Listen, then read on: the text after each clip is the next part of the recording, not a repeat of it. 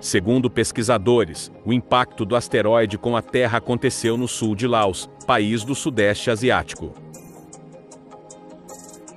Um estudo apresenta evidências do local onde um asteroide teria atingido a Terra há 789 mil anos. Os pesquisadores apontam que diversos esquícios do corpo celeste foram encontrados espalhados pelo Sudeste Asiático, mas que a cratera correspondente ao impacto foi localizada no sul de Laos, país da região.